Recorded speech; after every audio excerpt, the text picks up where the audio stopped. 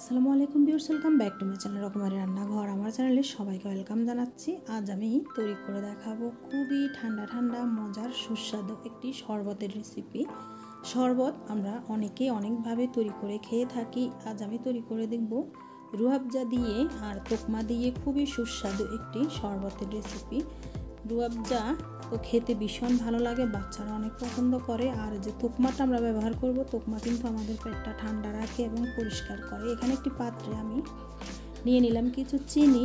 চিনিটা আপনারা আপনাদের স্বাদ অনুযায়ী বাড়িয়ে কমিয়ে নিতে পারেন। যারা চিনিটা খাবেন না, তারা শুধু রুয়াবজা দিয়ে এটি তৈরি করে নিতে পারেন। কারণ রুয়াবজার ভিতরে এমনিতেই কিন্তু কিছুটা মিষ্টি থাকে।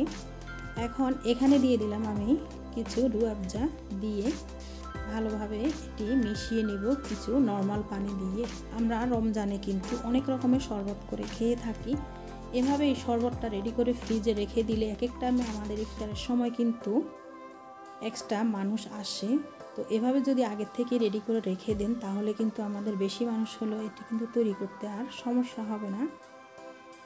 বা আগের থেকে রেডি করে রেখে দিলে ফ্রিজে যখন ইচ্ছা তখন কিন্তু এটি তৈরি করে শুধু মিশিয়ে খেয়ে নিলেই হবে। সে প্রসেসটা দেখাবো। এখন আমি ভালোভাবে এটি মিশিয়ে নিলাম। চিনিটা গলে গিয়েছে, সেটা খেয়াল করবেন, চিনিটা যাতে গলে যায়। এখন আরেকটি মেন ইনগ্রিডিয়েন্টস আমি দেখাবো। একটি পাত্রে আমি আগের থেকে কিছু উপমা ভিজিয়ে রেখেছি, দেখুন। এভাবে ভিজিয়ে নর্মাল ফ্রিজের চেম্বারে রেখে দিতে পারেন। যখন খাবেন শুধু রুয়াবজার পানিটার সাথে উপমাটা মিশিয়ে আর একটু বরফ নিয়ে খেয়ে দেখবেন, অনেক মজা, বা ঠান্ডা পানি মিশিয়ে খেয়ে নেবেন। এখন আমি গ্লাসে সার্ভ করে দেখাচ্ছি, দেখুন। গ্লাসে আমি কিছু টুকমা দিয়ে দিব প্রথমে।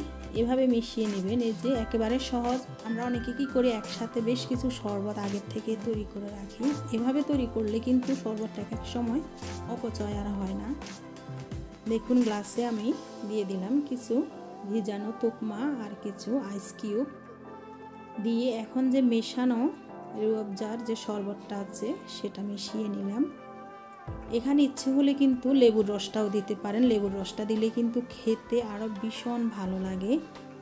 এখন মিশিয়ে নিব। এই তো তৈরি হয়ে গেল, খুবই সুস্বাদু।